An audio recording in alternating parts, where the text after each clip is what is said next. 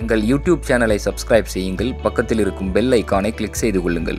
அடுத்தது வந்து பார்த்தீங்கன்னு சொன்னால் மேற்கு வானம் மேற்கு வானம். இதுவும் வந்து அந்த வரிசையில் வரக்கூடிய இன்னொரு நாவல் மேற்கு வானம். ஸோ ஸோ இந்த நாவலையும் வந்து ஆரம்ப கட்டத்தில் இருக்கக்கூடிய ஸ்டார்டிங் ஸ்டேஜில் இருக்கக்கூடிய பிகினர்ஸுக்கு வந்து வாசிக்க கொடுக்கலாம். இதுவுமே வந்து நான் முன்னாடி சொன்ன நாவல் மாதிரியே சுவாரஸ்யமான தத்ரூபமான விவரணைகளால் வாசகர்களை வந்து கட்டி போடும் நாவல் வகைமையில் இதுவும் வந்து ஒரு மிகச்சிறந்த நாவல் அப்படின்னு தான் சொல்லணும். இந்த நாவல் வந்து எதை பற்றியது? இதனுடைய கரு என்ன அப்படின்னு சொல்லிட்டு சுருக்கமாக பார்ப்போம். அதாவது ஸ்பெயின் வந்து ஐரோப்பாவுக்குள் நுழைந்த சுருக்கமான வரலாறு அப்படின்னு சொல்லிட்டு ஒரு வரியில் இந்த நாவலினுடைய கருவை வந்து சொல்லலாம்.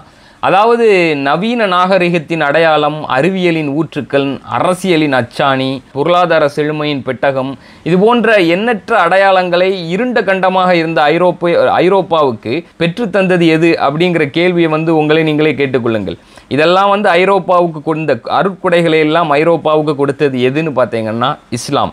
ஸோ அந்த இஸ்லாம் வந்து ஸ்பெயின் வழியாக ஐரோப்பாவுக்குள் எப்படி நுழைந்தது அதனுடைய தோற்றுவாய் ஊற்றுக்கண் என் ஊற்றுக்கண் என்ன அப்படிங்கிறத இந்த நாவல் வந்து சுருக்கமாக பதிவு செய்து ஸ்பெயின் வழியாக ஐரோப்பாவுக்குள் இஸ்லாம் நுழைந்த வெற்றி சரித்திரம் வந்து தத்ரூபமும் சுவாரஸ்யமும் குன்றாத ஆற்றொழுக்கிலும் நாவலாசிரியர் ஹசன் வந்து மீண்டும் அவருக்கே உரித்தான சிறப்பான நடையில் தத்ரூபமான சுவாரஸ்யமான நடையில் வாசகர்களை கவர்ந்திழுத்து கட்டி போடும் வண்ணம் அவர்களுடைய வேட்கைகளையும் விருப்பங்களையும் ஜனரஞ்சக அம்சங்களையும் இணை கோட்டில் திருப்திப்படுத்தும் நாவலாசிரியர் ஹசனின் இலகுவான இயல்பான மொழிநடையை மீண்டும் இந்த நாவலில் வாசகர்கள் சுவைத்து உணரலாம். மேற்கு வானம் இந்த நாவலினுடைய பேர் வந்து மேற்கு வானம். இதுதான் இந்த நாவல் மேற்கு வானம். பதிப்பகத்தினுடைய பெயர் வந்து புது யுகம். நிச்சயமாக அனைவரும் வாசித்து பயனடைய வேண்டிய ஒரு சிறப்பான நாவல். தொண்ணூற்றி ஐந்து அப்படின்னு சொல்லிட்டு விலையை நான் சொன்னது பழைய எடிஷன் அதாவது இது நான் வாங்கியே வந்து பல வருடங்கள் இருக்கும். ஸோ இப்போ வந்து ரேட்டை வந்து இன்க்ரீஸ் பண்ணியிருக்கிறாங்க.